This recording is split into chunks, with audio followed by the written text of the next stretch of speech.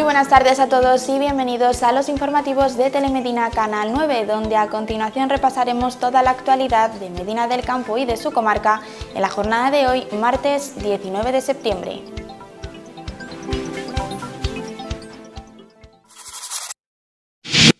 Servitrama Transportes te ofrece esta sección. Medina del Campo Urbano registra 640 casos vinculados al coronavirus. La zona básica de salud de Medina del Carpo Urbano, con los datos actualizados a 6 de septiembre de 2023, refleja un total de 640 casos activos. Así, el portal de datos de la Consejería de Sanidad muestra también cómo el nivel de incidencias es alto en lo relativo a la zona básica de salud de Medina del Campo Rural, cuyos datos actualizados a la misma fecha que los de la metrópoli arrojan cifras de 430 casos activos. Esta última actualización también muestra cómo el Hospital de Medina del Campo inscribe cinco pacientes hospitalizados en planta y un total de dos fallecimientos como consecuencia del virus en los últimos 15 días. En la Villa de las Ferias se han producido desde el 1 de marzo de 2020 752 fallecidos, de ellos 134 están vinculados a la COVID-19. Y la plataforma en defensa del Hospital Comarcal de Medina del Campo estudia hacer nuevas movilizaciones. La plataforma ciudadana en defensa del Hospital de Medina del Campo sigue luchando para conseguir materializar todas sus peticiones relativas a este servicio de salud. Así, después de la multitudinaria manifestación del 10 de agosto que congregó a miles de personas al grito de salvar nuestro hospital en la localidad, las asociaciones de vecinos de la Villa de las Ferias han vuelto a mantener una reunión tras las ferias y fiestas de San Antolín para ver cuáles serán los siguientes pasos a dar, ya que no se ha visto ningún movimiento tras la manifestación garantizan desde la citada plataforma. Teniendo como base que no se ha visto ningún cambio por parte de ninguna institución, ya adelantan que volverán a convocar una nueva manifestación probablemente a lo largo del mes de octubre, aunque están ahora estudiando las mejores fechas que para que puedan asistir el mayor número de personas posibles. En estos próximos días los representantes de los vecinos aportarán información al resto de ciudadanos sobre cómo adherirse a este órgano que tiene por fin luchar por lo nuestro solo nosotros los vecinos de Medina y de la comarca sabemos los que es estar afectados. Gana Medina ha solicitado al Grupo de Gobierno información sobre los gastos protocolarios, pero desde la Concejalía de Hacienda afirman que ya se los han remitido. Gana Medina ha solicitado al consistorio de la villa toda la información relativa al periodo medio de pago, importe de las facturas sin pagar y relación de las facturas de algunos proveedores del ayuntamiento. Una petición derivada de la información recibida por algunos suministradores que habrían trasladado a la formación su situación con una serie de problemas de retrasos a la hora de cobrar. Asimismo, Gana Medina también ha formalizado su deseo expreso de obtener todos los datos acerca de las facturas de gastos protocolarios relativos 22 de agosto y el 12 de septiembre de 2022, el 12 de enero y el 5 de marzo de 2023. Pues bien, desde la Concejalía de Hacienda se hace especial hincapié en que la información relativa a los gastos protocolarios ya se habrían remitido al partido de la oposición el año pasado. Una serie de tablas de Excel con los gastos hasta el 3 de noviembre de 2022. Por otro lado, y directamente relacionado con el pago a proveedores, Salcedo defiende que el tiempo medio de pago a proveedores sigue manteniéndose, puesto que hubo ciertos problemas el pasado año a raíz de la ausencia de la intervención. Ya está abierto el plazo de inscripción para el Club Empresas 2024 y el voluntariado cofrade en la Villa de las Ferias. La Junta de Semana Santa de Medina del Campo informa sobre importantes novedades en vista del próximo 40 aniversario de la Junta de Semana Santa que se celebrará a partir del mes de noviembre. Se ha establecido un calendario de trabajo para la organización de la Semana Santa 2024. Además, se ha aprobado oficialmente la apertura del plazo de inscripción para tres iniciativas fundamentales: el Club de Empresas 2024, el Voluntariado Cofrade y la solicitud del Carné Cofrade, todas ellas a partir del 19 de En miras al año 2024, la Junta de Semana Santa retoma el Club de Empresas, concebido como un espacio de colaboración entre empresas y entidades. Su objetivo es poner en valor el patrimonio material e inmaterial vinculado a la Semana Santa de Medina del Campo y de España en general. Las donaciones de los participantes contribuirán al sostenimiento de servicios profesionales, así como a la promoción y organización de diversas actividades culturales, turísticas y sociales. El Aula Mentor oferta un programa de formación gratuita sobre cómo hacer la compra segura a través de Internet. Con la vuelta al cole, el aula mentor de Medina del Campo sigue su oferta gratuita de formación de la mano de un nuevo curso presencial titulado De tal modo cómo hacer compras por Internet de forma segura. Así, a lo largo del 26-28 de octubre y 3 de noviembre, en horario de 10 y media a 1 de la tarde, se impartirán estas lecciones que sumarán un total de 7,5 horas. Es importante tener en cuenta que las plazas son limitadas, por lo que las personas interesadas deberán asistir lo antes posible a solicitar información a las instalaciones del aula mentor ubicadas en la calle San Martín número 24 en la Casa de Culta Cultura o bien por teléfono o WhatsApp en el 667 78 70 90. También podrán inscribirse a través del correo electrónico aulamentor@aito-medio medina del. Desde la organización también han facilitado un teléfono de WhatsApp 667 78 70 91. La Biblioteca Municipal Gerardo Moraleja ha recibido siete cajas de libros gracias a los fondos Next Generation. A través de los ya conocidos fondos Next Generation, la Biblioteca Municipal Gerardo Moraleja de Medina del Campo ha recibido un total de siete cajas repletas de libros. Así, gracias al Plan de Recuperación, Transformación y Resiliencia de España, los usuarios tendrán a su disposición próximamente estas nuevas adquisiciones. Por el momento, los trabajadores de la biblioteca se encuentran realizando las labores pertinentes que requieren estas nuevas obras, tal y como explican desde el centro. El libro Un camino francés a la inversa se presenta este 20 de septiembre en Medina del Campo. Este miércoles 20 de septiembre a las 8 de la tarde se desarrollará la presentación del libro Un camino de Santiago francés a la inversa de Manuel Lanuza Vicente. El acto que tendrá lugar en la sala de conferencias del Hospital Simón Ruiz está organizado por la Asociación de Amigos del Museo de las Ferias y del Patrimonio de Medina del Campo con la colaboración del Ayuntamiento de Medina del Campo y de la Mancomunidad Tierras de Medina. A la par, todo lo recaudado en la jornada con la venta de los libros se donará íntegramente a la Asociación de Familiares de enfermos de Alzheimer y otras demencias de la comarca de Medina del Campo, AFAMEC. La presentación estará moderada por el presidente de la Asociación de Amigos del Museo de las Ferias y del Patrimonio de Medina del Campo, Luis Gil. Tenía muchas ganas de hacer una, una obrita pues a beneficio de mi asociación. ha llegado, ya yo lo anuncié hace un par de años cuando, cuando hice otro para la asociación, una asociación de Alzheimer de Arevalo, que también la tengo en una gran estima, y bueno, pues ha llegado el momento y la verdad es que estoy, pues estoy muy contento de, de que haya llegado y que lo hayamos conseguido. Los vecinos de Castrejón de Trabancos han dado la bienvenida a su alcalde este mismo fin de semana tras el trágico accidente sucedido en el mes de agosto. El alcalde de Castrejón de Trabancos fue recibido este fin de semana por una multitud de vecinos unidos para mostrar su apoyo al mandatario, y es que este sufrió un grave accidente a principios de agosto mientras colocaban las talanqueras de cara a la celebración de sus fiestas patronales.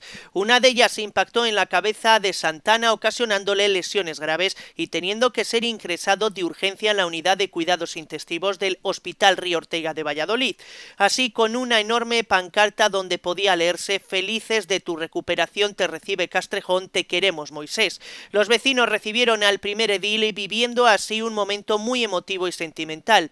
Asimismo, transmitieron unas bonitas palabras al alcalde que sin duda emocionaron a todos los allí presentes.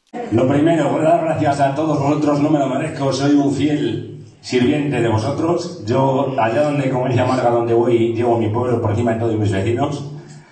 Y muchísimas gracias a todos. La verdad es que han sido momentos muy, muy difíciles. Yo no me acuerdo de nada, me acuerdo hasta ese instante que me, antes me pasó el accidente. Luego he estado tres días en Lowy, que no me acuerdo de nada. Se lo debo todo a mi mujer, a mis niños, a mi suegra, a mis padres, a mis hermanos, a mis cuñados, a todos. Muchísimas gracias a todos. Pido un fuerte aplauso para ellos.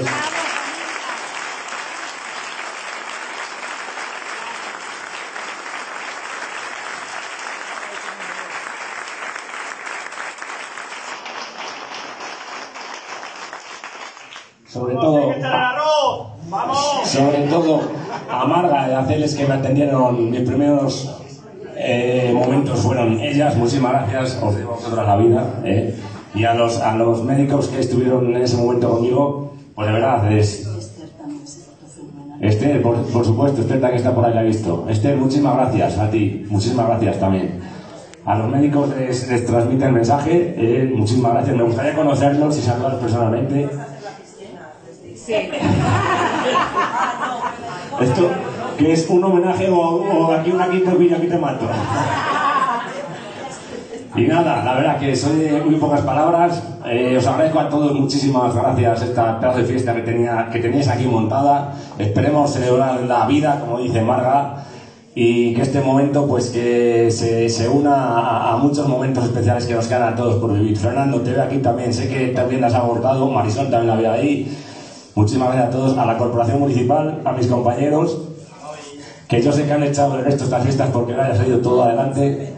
Y por supuesto, tenía ganas de verte, tenía ganas de verte. He estado dos veces aquí, pronto por ti y no te había visto. Muchísimas gracias, Chopeta. son, son, momentos muy difíciles y la verdad que ya acabó el discurso, que son momentos de celebrar. Gracias a todos y que nos juntemos muchos años más, pero no por esto, sino por fiestas, por la vendimia, perdona, por la matanza, por las fiestas, por todo. Muchísimas gracias y que pasemos un feliz día en Castrejón, ¿vale? Gracias, gracias a todos. Y este sábado Pozalde celebrará su fiesta de la vendimia. Si algo es tradicional en estos meses próximos es la celebración de la fiesta de la vendimia, un acto muy característico en los municipios de la comarca de Medina. Así, este sábado 23 de septiembre, Pozalde llevará a cabo dicha festividad, la cual arrancará a las 18.30 horas con la pisada de la uva y la degustación del mosto entre todos los asistentes. Asimismo, a partir de las 19.30 horas, las piscinas municipales acogerán una chalchichada popular para todo el pueblo, tal y como han confirmado desde el ayuntamiento de la localidad, el precio de esta actividad será de un euro y los tickets podrán recogerse en el consistorio hasta el 21 de septiembre. Hasta el 26 de noviembre la sala de exposiciones de La Pasión acoge la muestra Sorolla y el paisaje de la época. La Sala Municipal de Exposiciones del Museo de la Pasión de Valladolid acogerá hasta el próximo 26 de noviembre la muestra Sorolla y el paisaje de su época, conformada por 90 obras del propio pintor valenciano y de otros 50 artistas coetáneos que reivindica la edad del oro del paisajismo español. Se trata de una cita cultural organizada por Fundos con el apoyo de la Fundación Banco Sabadell y enmarcada en el programa oficial del centenario Sorolla del Ministerio de Cultura.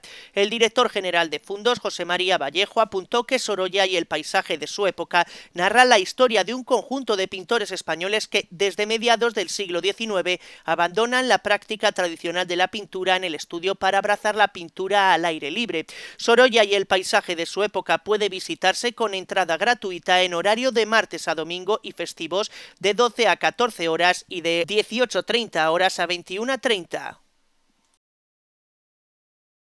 Este miércoles Zaratán será testigo del encuentro entre el Real Valladolid de baloncesto disputando el trofeo de diputación contra el Ourense Basket. El UMC Real Valladolid de baloncesto disputará el, 26 trofeo Diputación contra el Club Ourense Baloncesto este miércoles 20 de septiembre a las 20 horas en el Polideportivo Infanta Juana del municipio vallisoletano de Zaratán.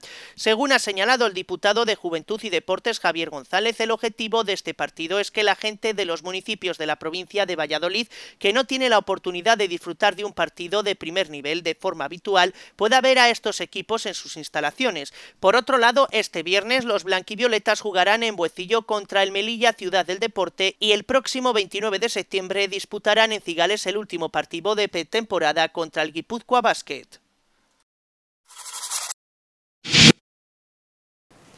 Un sistema pionero podrá prevenir enfermedades cardiovasculares a más de 20.000 habitantes de Castilla y León. El consejero de Sanidad Alberto Vázquez visita el Hospital de Salamanca para firmar un acuerdo entre Novartis, la Junta de Castilla y León y la Universidad de Salamanca para desarrollar un programa experto en control lipídico, un programa muy innovador que tiene como misión detectar a través de pruebas biológicas o analíticas a aquellos pacientes que tienen riesgo lipídico alto. Además tiene una novedad importante, permitir mediante una serie de consejos o los avisos realizados mediante inteligencia artificial a los médicos dar las mejores mejoras medidas en eh, cada momento, tanto terapéuticas como de prevención y de otro tipo que eviten y que mejoren la cantidad de pacientes que tenemos cada año con patología cardiovascular. El verano de 2023 se ha registrado en Castilla y León como el tercero más cálido desde que se tienen registros. Este lunes la delegada del Gobierno en Castilla y León, Virginia Barcones, ha presentado el resumen meteorológico del verano en la comunidad, un periodo que ha sido muy cálido y húmedo. La delegada ha agradecido la labor de la Agencia Estatal de Meteorología en estas predicciones, un trabajo que cada vez es más necesario. El verano en Castilla y León, que esta semana finaliza, se posiciona como el tercero más cálido junto al año 2017, teniendo en cuenta los datos desde 1913. Solo los veranos de 2022 y 2023 han sido veranos más cálidos. Desde el punto de vista pluvimétrico destaca la gran diferencia entre la precipitación registrada en el mes de junio con superávit del 121% y la correspondiente a los meses de julio y agosto, ambos con déficit de precipitación del 70 y 83% respectivamente. En cuanto a las temperaturas, cabe destacar que las medias registradas en el trimestre de junio y agosto de 2023 han estado por encima de lo que es habitual, en concreto 1,2 grados centígrados.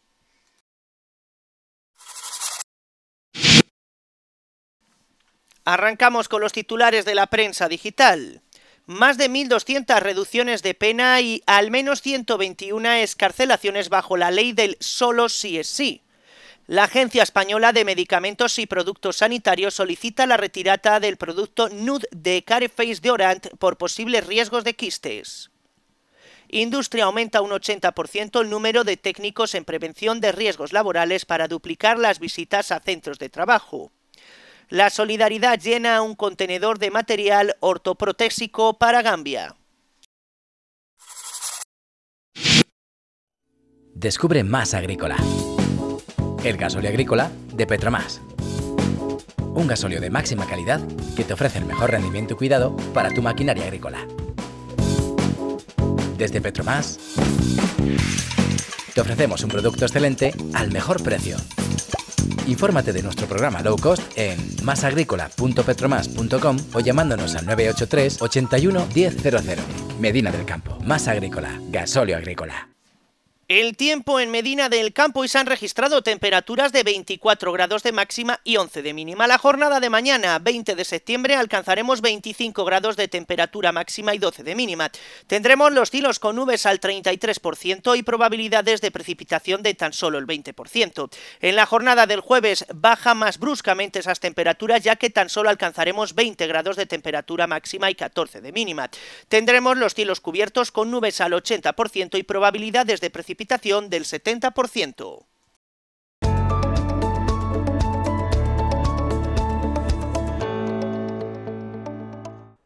¿Qué tal? ¿Cómo están? Esta tarde se aproximará esta pequeña dana al sur de la península con lluvias intensas por la tarde-noche en el sureste y avanzando hacia el Mediterráneo. Tenemos bajas presiones en la mitad sur y el Mediterráneo y mañana por la tarde avanzará un frente frío a Galicia que el jueves cruzará la península. Se han activado avisos amarillos para esta tarde con la llegada de la dana en el sureste y la zona de Levante por precipitación acumulada de 15-20 litros por metro cuadrado en una hora con posible granizo y en Mallorca por 30 litros por metro cuadrado en una hora hay rachas de viento fuerte o muy fuerte. El aviso será naranja en Ibiza y en Formentera, en zonas de Mallorca y en Castellón, donde se esperan 40 litros por metro cuadrado en una hora. Como vemos en las imágenes que nos llegan desde el Meteosat, hemos empezado el día con nubosidad y lluvias débiles en el norte y nubosidad ya en el Mediterráneo. Esta tarde se prevén chubascos y tormentas desplazándose de Melilla al sur peninsular y al cuadrante sudeste que no se descartan en zonas aledañas y en el oeste de Baleares. Podrán ser localmente fuertes o persistentes por la tarde-noche en el sudeste y no se descarta que lo sean también en Pitiusas o litorales del Levante y sur de Cataluña. En general suben las temperaturas, aunque se darán descensos en el Mediterráneo y Baleares valores máximos de 27 grados en Barcelona y 29 en Palma. Mañana durante la mañana se prevé lluvia fuerte en el Mediterráneo y en el resto tiempo más estable, pero se esperan cambios por la tarde. Las lluvias del Mediterráneo tenderán a remitir, pero la llegada a últimas horas de ese frente que comentábamos de de cara a lluvias en Galicia que se podrán extender a otras zonas del noroeste y los termómetros marcarán 21 grados en Lugo, 23 en Madrid y 27 en Albacete y el jueves ya serán evidentes los efectos de ese frente frío con lluvias avanzando por gran parte del país y un descenso notable de las temperaturas. Eso es todo, sigan informados en nuestra página web.